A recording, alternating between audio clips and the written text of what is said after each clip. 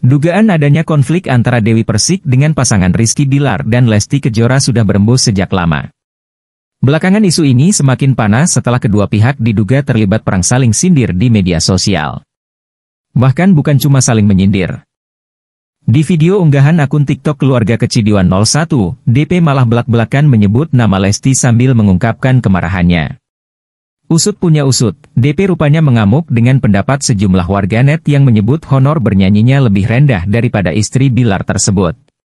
Katanya, Lo lebih miskin dari Lesti, budgetnya lo tuh di bawah Lesti. Gue mau tanya, lo ngomongin masalah budget emang lo bisa lihat di situ kontrak-kontraknya artis-artis? Ujar DP. Bahkan DP sengaja memplesetkan nama penggemar Lesti dan Bilar, yakni dari Leslar menjadi Laler. Laler, Laler.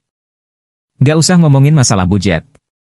Kita tuh juga nggak kepengin disebut nomor satu, nggak ada, sambung DP. Saat itulah Rian Ibram selaku rekan pembawa acaranya di program Pagi-Pagi Ambiar langsung mengintervensi. Awalnya Rian masih berusaha meredam kekesalan DP, tetapi kemudian dia seolah ikut tersulut emosi. Ya udah kamu nggak usah marah-marah gitu, ujar Rian mengingatkan DP. Namun tentu saja DP tidak mau berhenti begitu saja. DP lalu mengungkapkan kekesalannya yang diduga masih berasal dari komentar miring para penggemar Lesti dan Bilar. Yang tidak aku suka adalah aku dibilang wanita mucikari. Itu nggak sopan, tegas mantan istri Angga Wijaya tersebut. Sementara Rian kembali bertugas untuk meredakan ketegangan yang ada, kali ini dengan beralih mengingatkan warganet. Namun belum tuntas menyampaikan wejangannya, DP kembali menyela dan menumpahkan emosinya. Momen ini seketika ramai menjadi buah bibir.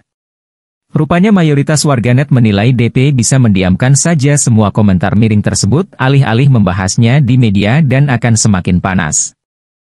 Sebagai orang dewasa kan bisa milah dan milih hal-hal yang perlu kita tanggapi atau gak ditanggapi, komentar warganet.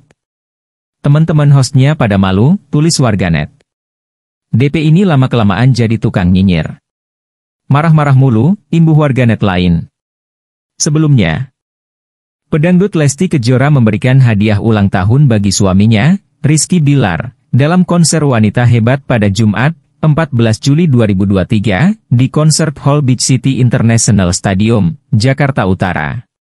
Sebelum menyanyikan, bukan cinta biasa, Lesti menyebut bahwa lagu tersebut adalah ciptaan Bilar.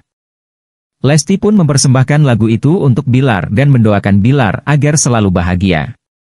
Saat menyanyikan single, Egois, Lesti sempat mengungkap pesan soal pasangan yang egois dalam sebuah hubungan.